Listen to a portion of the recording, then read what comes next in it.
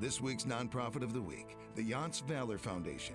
Their mission is to provide funds to help our wounded warriors reestablish all aspects of their life when they return from active duty. And for those who tragically do not return, support their families. Go to their website for more information.